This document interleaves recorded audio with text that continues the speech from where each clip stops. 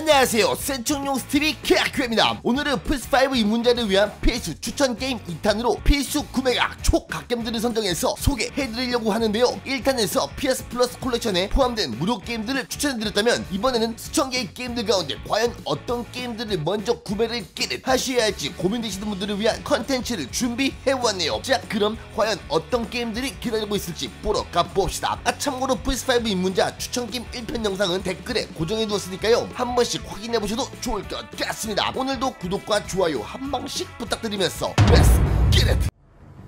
플스5 입문자분들을 위한 추천 게임 첫 번째는 바로 고스트 오브 쓰시마 Director's Cut입니다. 플스4로 출시되었던 고스트 오브 쓰시마 본편의 이야기와 더불어 쓰시마와 함께 몽골군에게 침략을 받았던 이키섬 스토리 추가 그리고 다양한 미니게임, 기술, 적의 유형 등이 포함되어서 플스5용으로 새롭게 출시가 된 타이틀이네요. 특히나 플스5 버전에서는 듀얼센스 haptic 피드백과 4K 60프레임 지원, 로딩 시간 단축 등 정말 많은 개선 요소가 포함되어 업그레이드가 되었습니다. 매우 황홀한 그래픽과 전투 시 적을 쓰러뜨리는 손맛 그리고 앞이 더욱더 궁금해지는 스토리까지 정말 재밌는 게임으로 꼭 한 번씩 해보셔도 좋은 게임이네요. 아 저는 이 게임 사실 인왕과 비슷한 소울류 게임인 줄 알고 처음에는 조금 거부감이 들었었는데요. 혹시나 저와 같은 고민이 되신다면 걱정하지 않으셔도 됩니다. 게임이 마냥 어렵지만은 않아서 조금만 컨트롤을 손에 익히신다면 정말 재밌게 즐길 수 있는 게임이니까요. 너무 큰 걱정하지 않으시고 Let's get it 하셔도 좋습니다. 우후.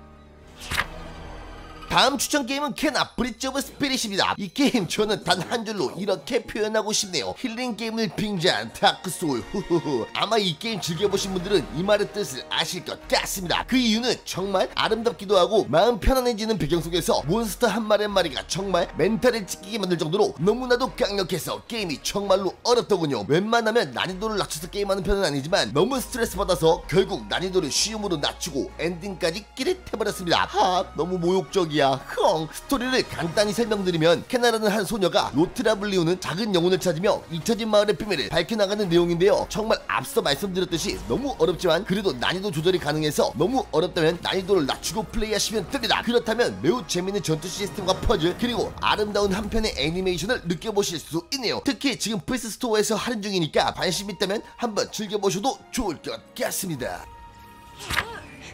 다음 게임은 Ratchet and Clank Rift Apart입니다. 플스5 독점 출시된 타이틀 중에서는 사실 거의 최강급 타이틀로 아마 플스5 사시면서 함께 구매하신 분들도 많을 것으로 예상되네요. 스토리는 다차원 새끼를 정복하려는 로봇 황제를 무찌르기 위해 Ratchet과 Clank가 다시 한번 기가 막힌 우주여행을 레스키를 타는 내용입니다. 플스5 독점으로 출시된 게임이라 그런지 정말 DualSense 기능 하나만큼은 작살나게 만들어 놨는데요. 패드를 잡은 손을 간지럽혀주는 DualSense haptic 피드백과 트리거를 눌러줄 때 그 묵직함을 느낄 수 있는 적응형 트리거 정말 게임 게임을 하는 내내 굉장한 몰입감을 느낄 수 있습니다. 아직은 할인을 해도 약간은 비싼 편이지만 이 게임은 그래도 그 가격을 주고라도 즐겨볼 만한 가치가 있으니 혹시 신나는 액션 게임 찾으신다면 고민해보셔도 좋을 것 같네요.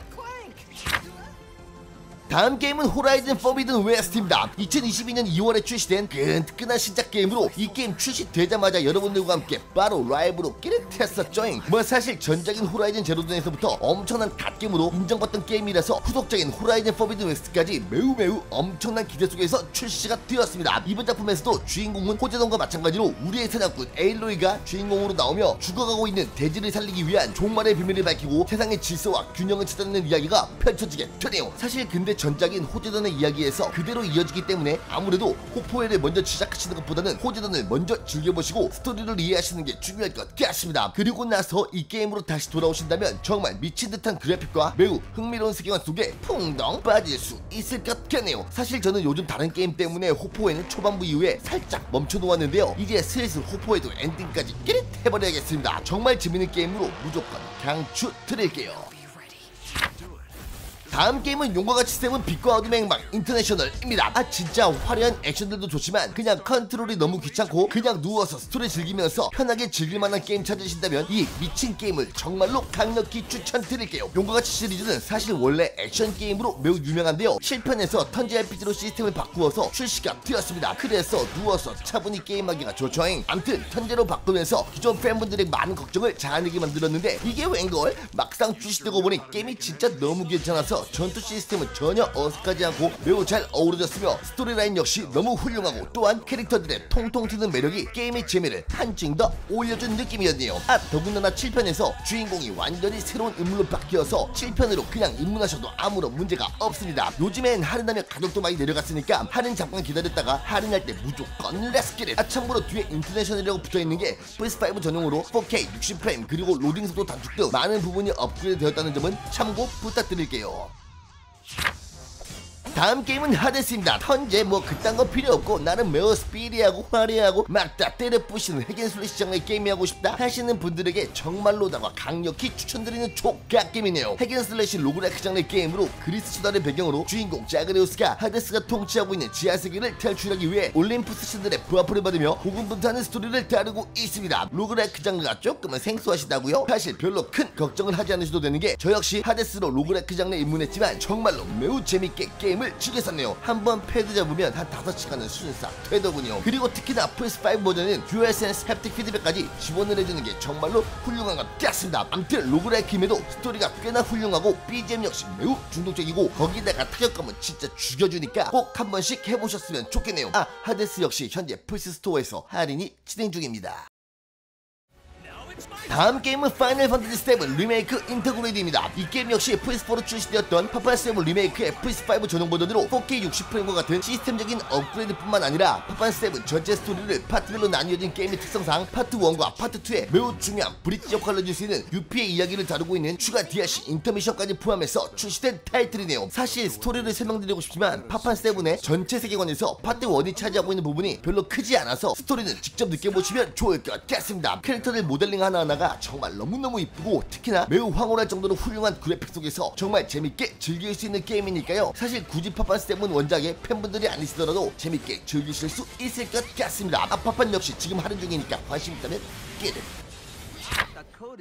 다음 게임은 It Takes 2입니다. 작년 GOTY를 수상한 정말로 미쳐버린 파티 게임이네요. 아, 저 역시 It Takes 2 실시간으로 와이프와 함께 즐기는 모습 여러 번 보여드렸었죠잉. 정말 너무나도 재밌고 미친 게임으로 조만간 곧 다시 찾아오겠습니다. 암튼 매번 충돌하는 커플 부부가 자신들의 사랑하는 딸에게 다시 돌아가기 위한 여정을 그리고 있는 게임으로 이 게임은 혼자서는 플레이하실 수 없고 꼭 두 명이서 함께 플레이하셔야만 하네요. 여러분은 각자 맡은 구역에서 자신이 맡은 일들을 수행해 나가며 완벽한 협동심으로 스테이지들을 클리어해 나가시 면 됩니다. 사실 엄청 어려운 게임은 아니지만 혹시 같이 게임하시는 분이 패드에 익숙하지 않다면 꽤 어려울 수도 있으니까요. 절대로 싸우지 말고 차분차분히 하나씩 클리어해 나가시면 정말로 이 게임은 완전히 미쳤다는 걸 느끼실 수 있습니다. 아, 이 테이크2 역시 현재 할인 중이니까 꼭 한 번씩 해보셨으면 좋을 것 같네요.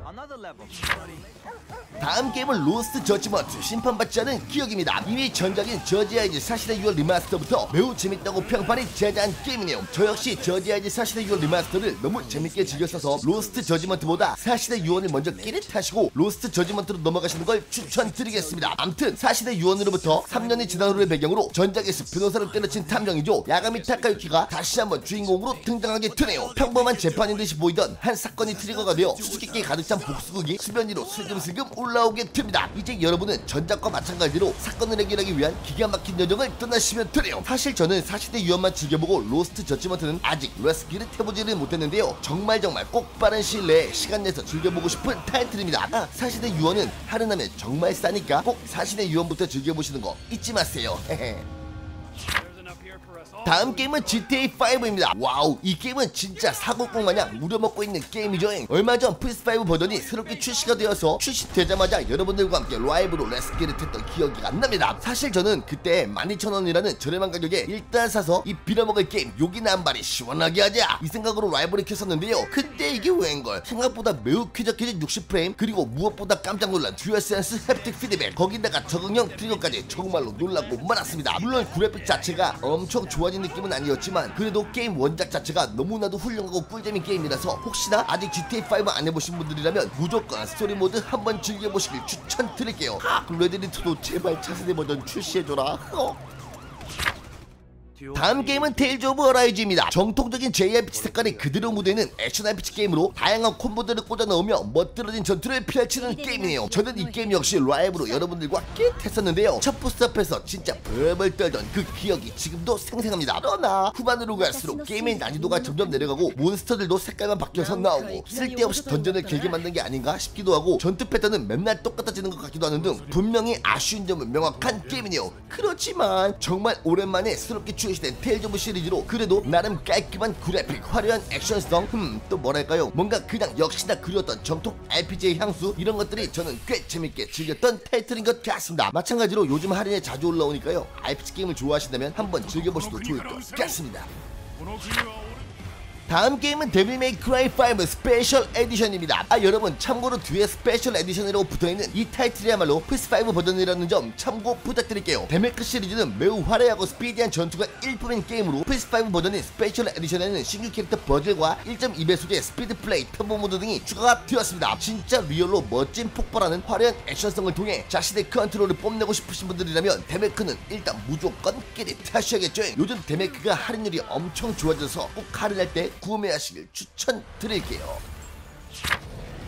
다음 추천 게임은 엘든 링입니다. 뭐 말이 필요 없는 초명작이죠. 벌써부터 올해 GOTY라는 등 엄청난 찬사를 받고 있는 갓게임으로 뭐 저 역시 엘든 링 아니면 갓오브 라그나로크 둘 중에 하나가 아닐까 혼자서 생각을 해볼 때도 있네요. 사실 제가 요즘 라이브로 일주일에 세 번씩 여러분들과 함께 진행하고 있는 게임으로 역시나 소울류 장르인 만큼 난이도 하나만큼은 정말로 후덜덜한 게임입니다. 그러나 이 게임은 그동안 출시되었던 다크소울, 블러드본과는 조금은 다른 느낌인데요. 바로 open world이며 레벨 노가다가 가능하고 영체 소환, 다양한 마법, 거기다 가 전설급 무기 등으로 원하시는 대로 난이도 조절이 가능하다는 점입니다. 사실 저는 only 칼 한 대로만 들고 싸우고 있는 편이라서 이렇게 게임하면 진짜 오질나게 어렵지만 많은 공략, 꼼수 그리고 다양한 전략 등을 통해서 보스를 잡아낸다면 매우 효과적이고 스트레스 받지 않고 재밌게 즐기실 수도 있네요. 개인적으로 소울류 입문작으로도 정말 괜찮아 보이는 타이틀로 너무 두려워하시지 않고 한번 시작해보셔도 좋을 것 같습니다. 그러다 보면 여러분들이 어느샌가 망자가 되어 있을 수도 호호.